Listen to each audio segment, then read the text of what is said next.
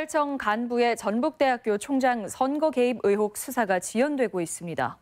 전북 경찰은 지난 1월 말 보강 수사를 위해 한 달간 수사 기간을 연장했지만 결론을 내지 못한 채 지난달 27일 수사 기간이 종료됐습니다. 경찰은 검찰 지휘를 받아 수사 기간을 추가로 연장하겠다고 밝혔지만 수사 지연 논란은 불가피할 전망입니다.